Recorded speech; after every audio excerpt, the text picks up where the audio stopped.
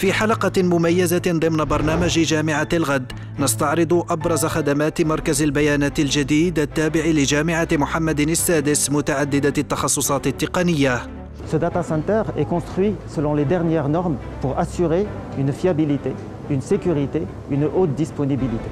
بنية تحتية مكونة من شبكة حواسيب وفضاءات تخزين تأوي أكبر الحواسيب العملاقة وأكثرها قوة على صعيد القارة الأفريقية. هذه المبادرة غتموقع آه، المملكة المغربية كأول دولة إفريقية اللي عندها هذه قوة الحساب في هذا المجال. مركز يوفر أعلى درجات الأمان والجاهزية القصوى إلى جانب المرونة العالية والاتصال المثالي خدمة للمنظومة الرقمية الوطنية عبر ضمان السيادة الرقمية للمملكة وتطوير خدمات رقمية جديدة مغربية 100% جامعة الغد. السبت على الساعة الواحدة والنصف بعد الزوال. تيلي أحلى في رمضان.